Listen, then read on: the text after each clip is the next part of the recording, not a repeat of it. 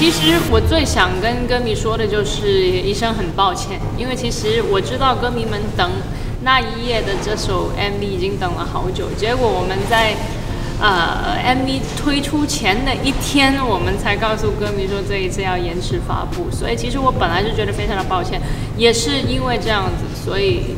这一次就觉得一定要身体力行了，在短时间里面一定要自己去监控更多，然后投入更多，所以也是我十年以来第一次当 MV 的制作人，希望可以用实体行动，就是回馈我的歌迷。要不要试一个指示花的？可以啊，好啊，直接来。他只是，哎，你这么美好，我灌溉一下你吧。哎，我做个做个东西来灌溉你。这首歌其实也是在描述，当你遇到爱的那一夜，你的人生会有什么样的改变？Birdy 跟特勤都准备好了，你准备好了吗？我准备好，他没。而且你刚拆下来那个表情，你自己是有吓到的。嗯，那个其实还蛮好的。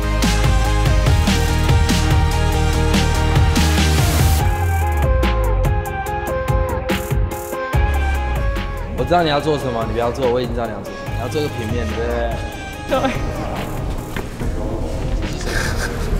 这一次的脚本其实是，呃，我跟 Gloria 就是呃每天晚上几乎都是微信到很晚，然后，然后他还录了一个三十分钟的的语音给我，然后就在讲呃音乐的哪一个段落，他希望怎么呈现。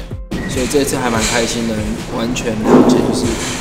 音乐创作者在创作时候，对于这首歌的视觉感是什么？我觉得因为时间非常赶，我们必须在三天内确定好所有场景的细节，然后所有的铁丝都得是手工做的，因为工厂做出来的都是非常的新，所以我希望有更多手工的感觉，感觉都是他自己做成的。所以其实美术组花了不少功夫在前期的搭景跟成色上面，包括整个墙壁喷漆做质感，我都觉得。是是是蛮辛苦，比较好玩是铁丝的部分，因为其实也没什么案子可以做到铁丝，但是因为时间期真的蛮短的，只有几天，所以其实也是很懵懵懂懂的，就是去穿。但是因为艺人那边有提一些参考资料出来，所以其实资料方面还蛮好找的。也是很感谢这些灵感突然的浮现。然后，当然，我们是本着要在最短时间里面去最深刻的呈现这首歌。时候有，的时候没有，对，这样就没有，这样就有，偶尔来一下。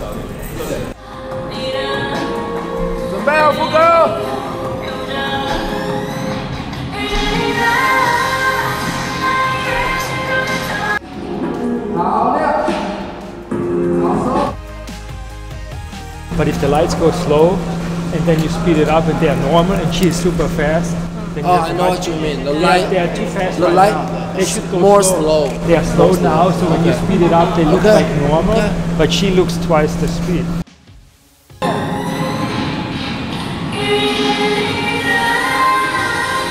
And now we change. Change, yeah. You don't, you, you don't move, and, and camera, camera move. move. Yeah.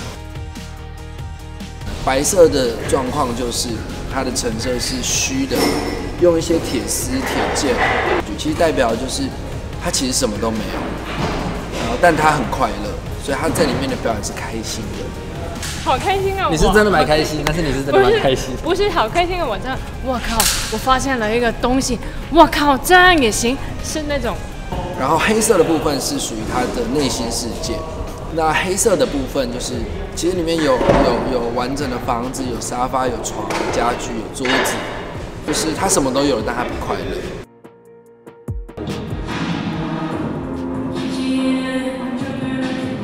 剧本的最后就是他灌溉了这一朵假花，同时那个黑色的的邓紫棋复活了，有了灵魂。他回头看那一朵枯萎的花，是发现它变成一朵真正的玫瑰花，有点像是灌溉之后得到了一个结果。我觉得在印象上是非常非常棒。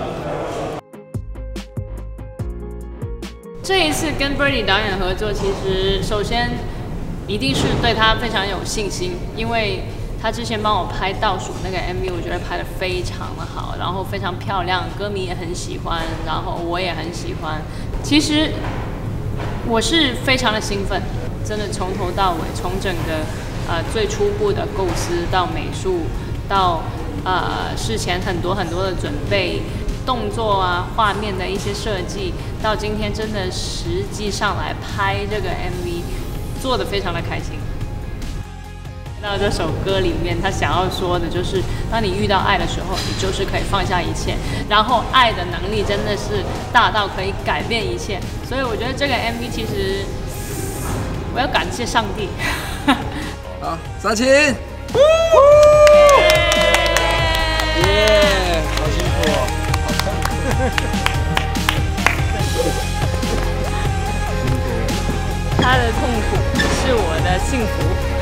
哈哈哈。